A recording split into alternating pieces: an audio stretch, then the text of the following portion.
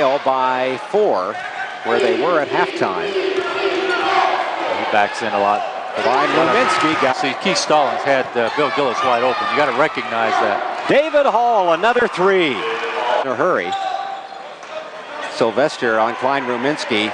Otto on the outside. Otto gets his own rebound, and they let him have it. Oh, Uh, Bill Gillis, you know, he's he's three out of 18 three-pointers. Oh, A steal. Tom Hall slam. Turnover Cardinals. 46 to 39. I think We're going to have a timeout. Got to have a timeout here. Dick knew that right away. Seven points.